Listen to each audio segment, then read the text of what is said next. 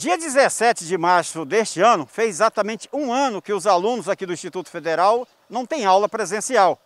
O início do ano letivo para 2021 começa agora dia 29, porém, continua sendo via remota. Nós vamos iniciar agora na segunda-feira estamos planejando né, essa volta, esse reinício agora dentro dessa pandemia. Nós tivemos aí entre erros e acertos de 2020, que uma situação inesperada para todos nós, né? Eu creio que os alunos também sentiram a mesma dificuldade, os pais e nós também sentimos, porque não é uma coisa que a gente estava acostumado.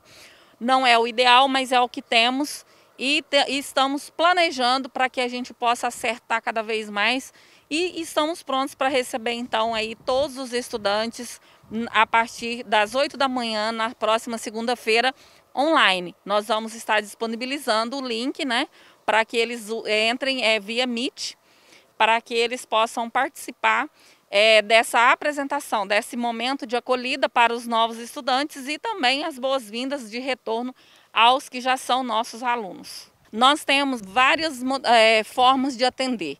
Então, a nossa instituição, nós temos a obrigação de atender a todos.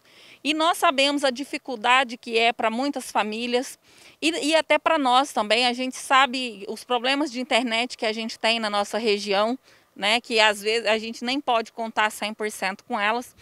Mas é, aqueles estudantes, aquela família que não tem condição, que não tem internet, que não tem acesso, que de repente mora na, na, tá nas chacras, fazendas, né, na zona rural, de, de local de difícil acesso, é só entrar em contato conosco que a gente tem, a, disponibiliza as apostilas, todo o material impresso, mas o estudante não vai ficar de fora, ele vai ser atendido, ele vai ter momentos para é, tirar suas dúvidas com os professores, né, para receber orientações, e isso a gente está trabalhando. É só questão de nos procurar e, e, e, nós vamos estar tá registrando e fazer com que essas atividades cheguem até eles. Hoje nós estamos com edital de vagas é, remanescentes para o ensino superior, que é a licenciatura em Ciências é, da Natureza, com habilitação em Química, Física e Biologia. Então, hoje encerra o edital, é só entrar no site do IFMT, Campus Confresa,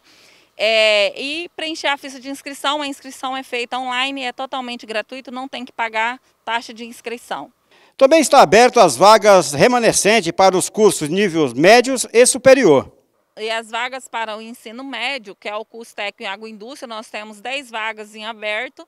As inscrições vão até o dia 30 agora de março. Também para o técnico em agropecuária nós temos 13 vagas. Então, é, também é, é, via internet, é só acessar o edital que está no site e fazer a sua inscrição.